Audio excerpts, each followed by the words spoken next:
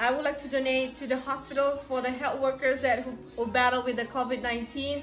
And my sisters and I try to collaborate by using uh, sewing these uh, handmade or homemade uh, masks uh, with from cotton. And I'm wearing it right now like this.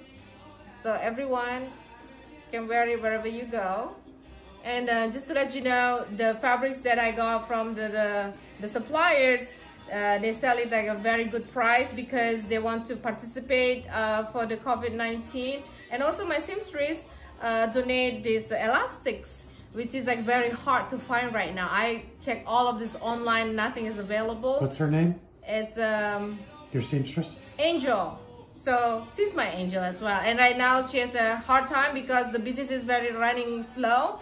So she's happy to make this and to support the community.